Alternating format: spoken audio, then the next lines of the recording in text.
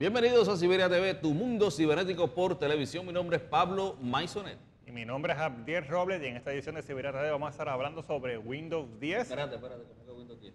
Sí, así mismo como lo oye, no es Windows 9, no es Windows Pero, X, ¿El último era 8? no es Windows One, es Windows 10. ¿Cómo es eso? Así mismito. El nuevo Windows tiene una mezcla entre Windows 7 y Windows 8.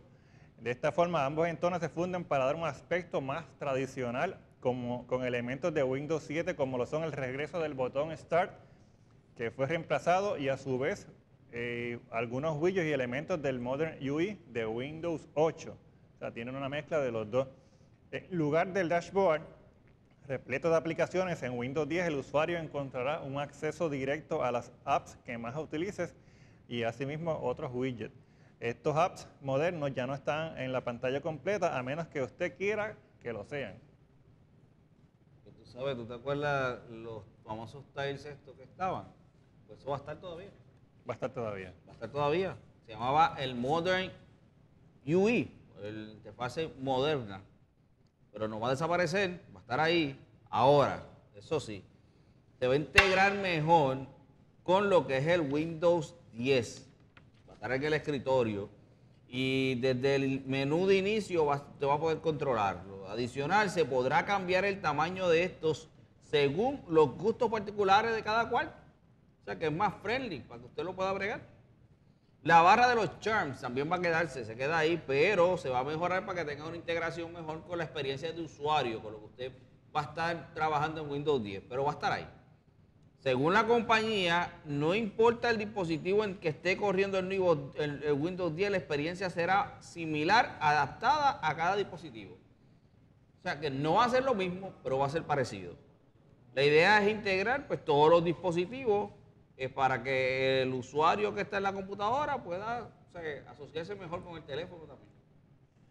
Bueno, el search bar o la barra de búsqueda no solo eh, busca las aplicaciones o documentos que, esté, que tienes en tu computadora, sino que también puedes hacer búsquedas en la web desde Bing. El taskbar también volvió. Además presentaron los desktop, vi- eh, desktop virtuales donde puedes organizar las aplicaciones personales y las profesionales en diferentes lugares. O sea, como si tuvieras varios perfiles de la misma persona y puedes brincar con facilidad de uno a la otra. Bueno, y esto no es el final de lo que está pasando con Windows 10. Windows, la gente de Microsoft están trabajando todavía en el programa y quiere que usted sea parte de este montaje que están haciendo de Windows 10 para entrar y ver qué es lo que hace Windows 10, preview.windows.com, para que tenga más información y puede formar parte y dar su input, dar su información, todo, todo eso.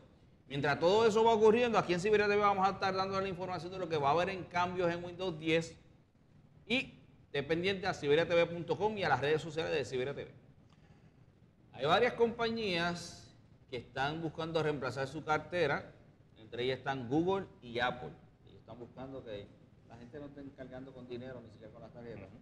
Pero hay una compañía que está decidida en básicamente reemplazar lo que son las tarjetas de crédito. ¿Por qué? Porque la mayoría de la gente usa las carteras para llevar dinero, pero no necesariamente las tarjetas de crédito tú quieres cargarlas para todos lados. Claro. La compañía se llama Coin. Esa compañía eh, es un sistema que puede sostener hasta ocho tarjetas de crédito adentro de una sola tarjeta y mete todas las tarjetas en esa y se comunica con su teléfono smartphone en donde después está la información de las tarjetas que ustedes tienen en, la, en esa única tarjeta universal, vamos a ponerle tarjeta universal. El costo de esa tarjeta son como 100 dólares y fue fundado por el desarrollador de PayPal, eh, Kanish Paracha. Este dispositivo eh, puede ser un sistema como futurístico en el futuro. Mantente pendiente de lo que está dando aquí Siberia TV sobre esto, porque va a estar por ahí. Si quieres más información, onlycoin.com.